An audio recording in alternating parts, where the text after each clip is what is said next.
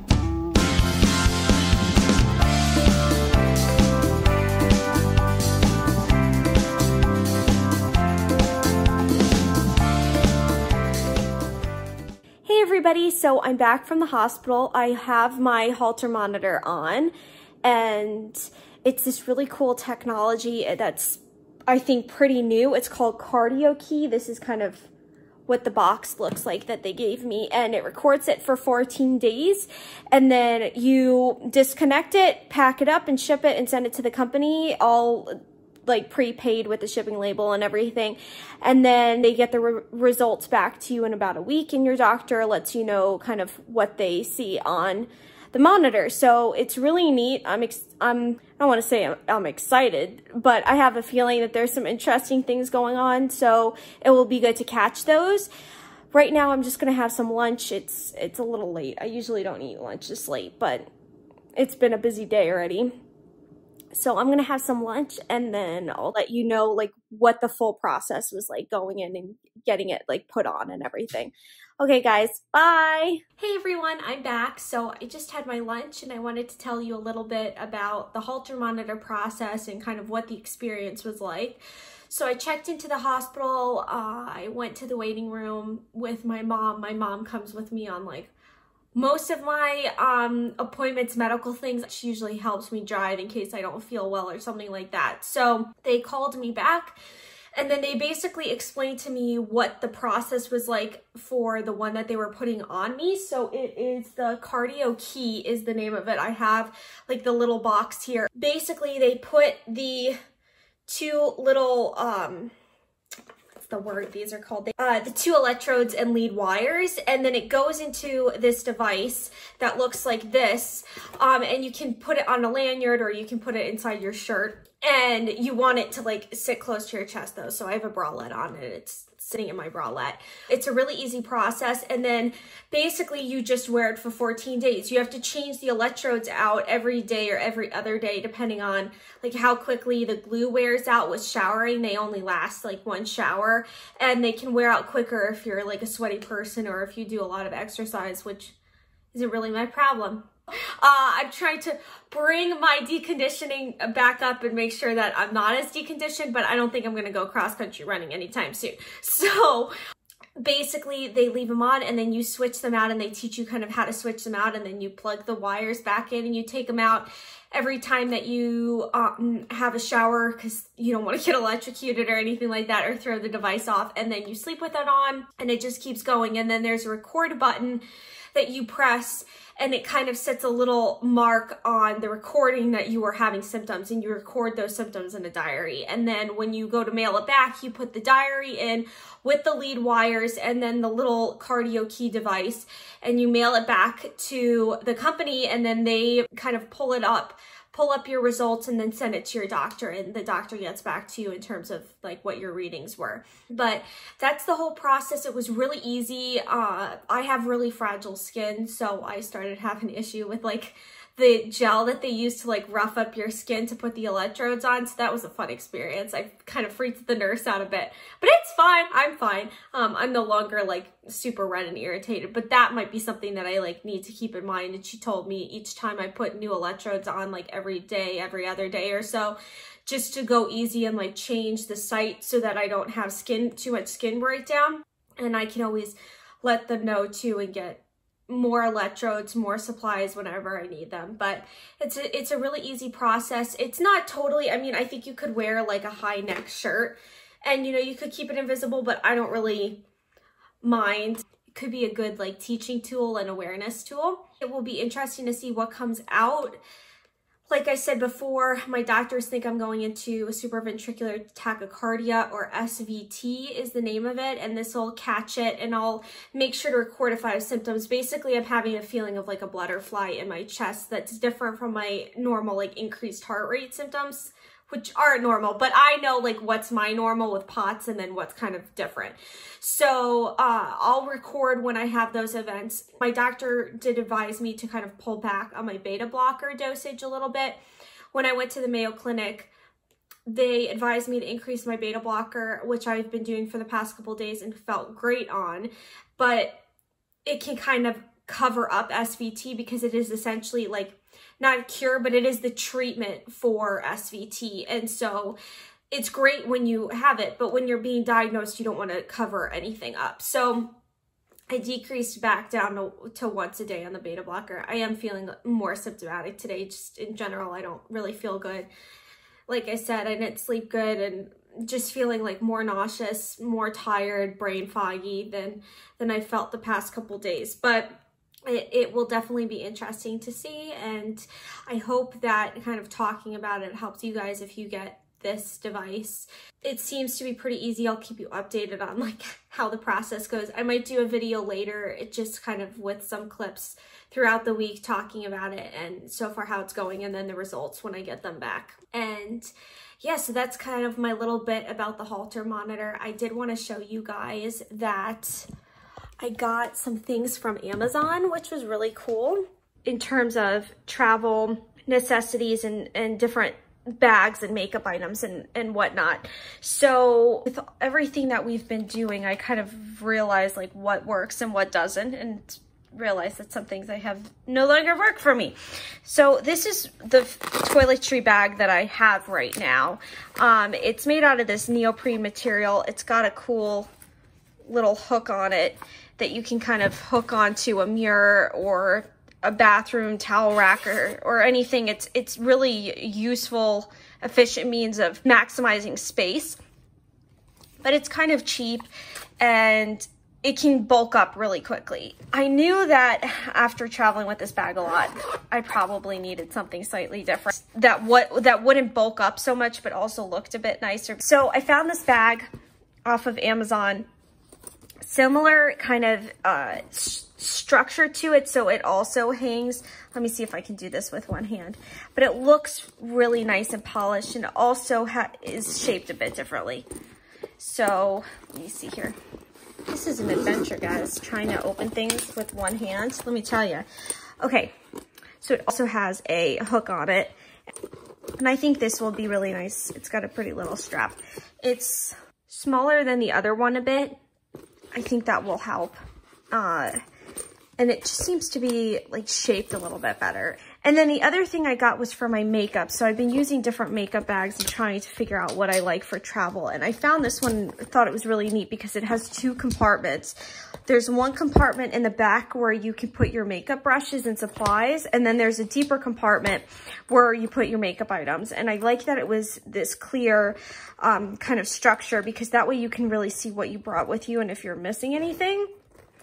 Uh, I have a case for my beauty blender, but that would be kind of the next thing that I want to look for is like a good case for my beauty blender that helps get air around it so it doesn't get moldy. But those are kind of the Amazon goodies that I got. I'm really looking forward to trying them out and seeing what I like. And then it, when I was placing the order for those, there were also just like two small beauty items that I needed to get. So I have a brow, uh, brow scissors that you can use to kind of trim your brows. I do my brows on my own. I just figured out at this point the process that I really like for them, how to fill them in, the shape that I like, everything. And then also these Tinkle razors are fantastic for kind of any kind of like peach fuzz that you have on your face.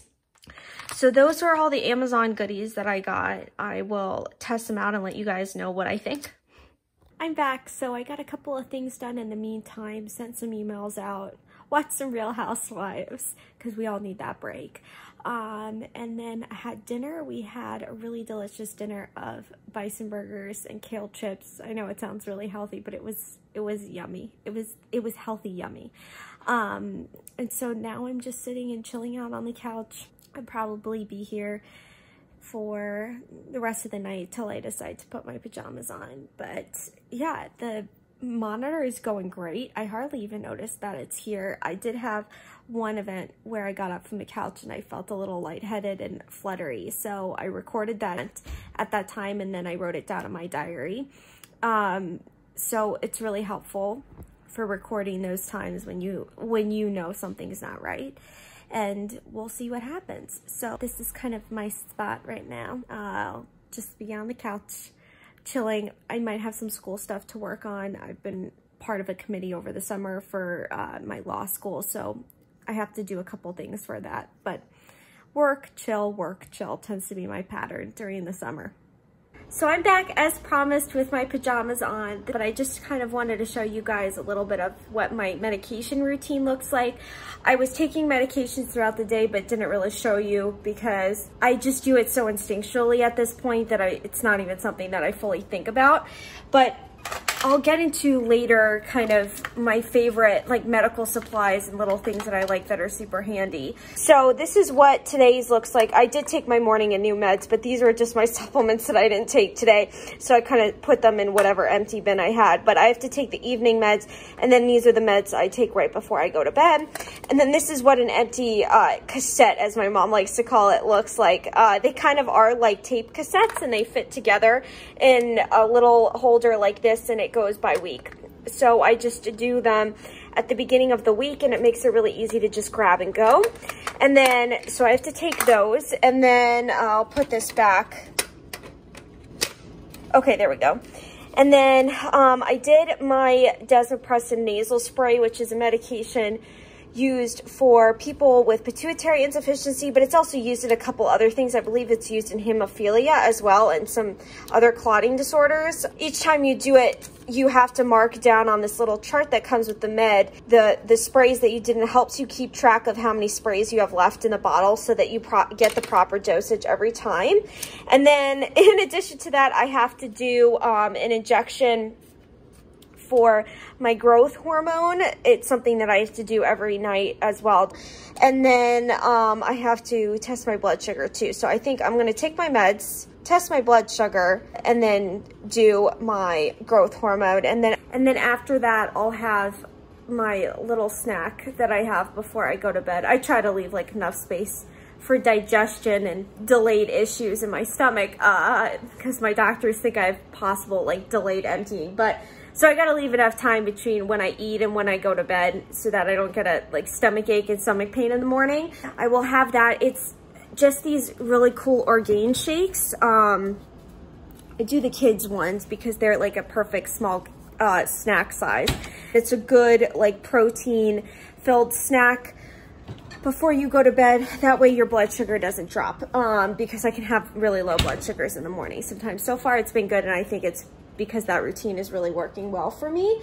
Um, and that's it. So thank you so much for joining me on this journey today of new vlogging experiences and new YouTube channels. Um, I'm sure it was a little rocky at first. I'm sure my video taking abilities will get much better as we go along, but thank you so much for subscribing. I appreciate it. If you're not, okay, so I just had to refilm that because I could not say the word subscribe and it is so embarrassing.